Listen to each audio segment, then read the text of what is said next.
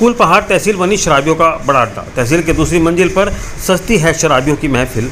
जिम्मेदारों की नाक के नीचे नियम कानून की उड़ रही हैं धज्जियाँ।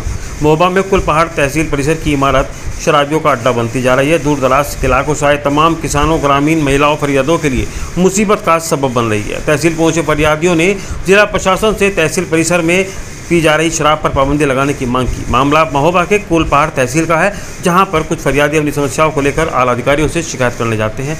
इस दौरान वह तहसील परिसर में स्थित पूर्ति विभाग जा पहुँची, जहाँ देसी और शराब की खाली बोतलें देखकर सभी हैरान हो गए। रेडियो का कहना है कि तहसील परिसर में ही जब अधिकारी, कर्मचारी और अराजक तत्व मौजूद रहेंगे तो ऐसे में न्याय और सुरक्षा कहाँ और कैसे मुहैया हो सकेगी? इस तरह के कृत्य करने वालों के खिलाफ प्रशासनिक आलाधिकारियों को सख्त कार्रवाई करनी चाहिए। Bureau report.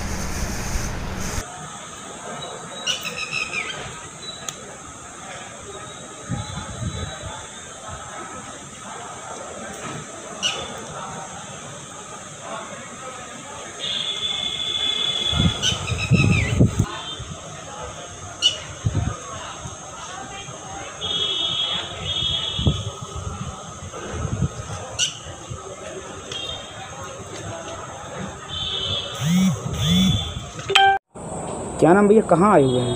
मेरा नाम जितेंद्र कुमार है। कहाँ आए मैं हुए कुलपाड़ तहसील आया था। क्या देखा आज?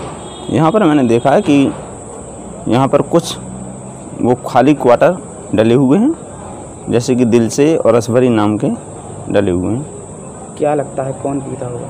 अब यहाँ पे जो भी पीता हो पर यहाँ ऐसा होना नहीं चाहिए। क्या चाहते हैं? ये चाहते हैं कि जैसे कि यहाँ पर डले हैं तो ये होना नहीं चाहिए। और इन लोगों पर खास करके कड़ी से कड़ी सख्त कार्रवाई होना चाहिए। कहाँ डली हुई कुलपाड़ तहसील पहली मंजिल इमारत पर।